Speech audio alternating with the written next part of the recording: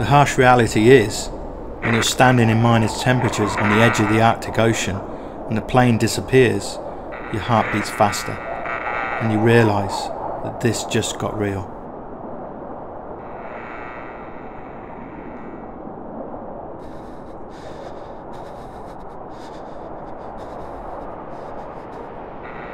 The ice caps are melting at an alarming rate.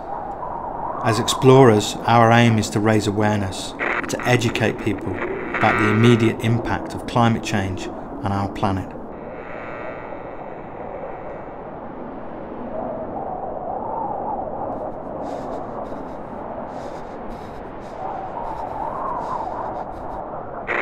This Polar Expedition team will film every breath, step and emotion of this unique journey to the geographic North Pole.